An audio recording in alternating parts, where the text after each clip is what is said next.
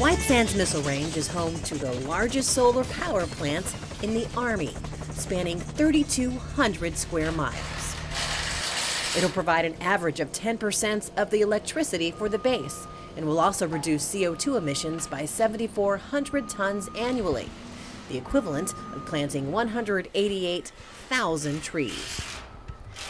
This Corps of Engineers managed project is a result of a unique partnership developed without capital investment from the Army. We use an energy services agreement to build this project. That's an arrangement where a third party owns, operates, and maintains the power generation system and provides the electricity to the customer. This partnership supports the Army's energy initiative. In my capacity as Assistant Secretary of the Army, our focus is on Army's energy efforts on our permanent installations and in all of our operations worldwide. So just to give you an idea of that, that's about $4.7 billion in energy costs worldwide.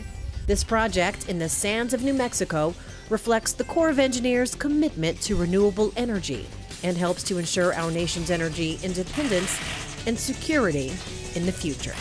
It's a big step forward. Mary Cochran Smith, Washington.